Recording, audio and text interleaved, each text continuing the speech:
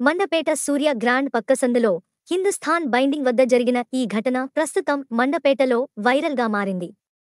ఓ యువకుడు మందు రేట్లు పెరిగిపోయాయని ముఖ్యమంత్రి జగన్ను తిట్టడంతో ఇద్దరు యువకులు వెంబడించి విచక్షణారహితంగా దాడి చేసినట్లు తెలుస్తోంది.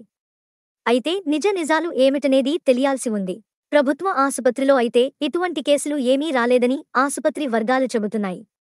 ఏది ఏమైనా ఈ దాడి చాలా అమానుషమని పోలీసులు ఈ కేసును సుమోటోగా స్వీకరించి నేరస్తులపై కఠిన చర్యలు పలువురు కోరుతున్నారు.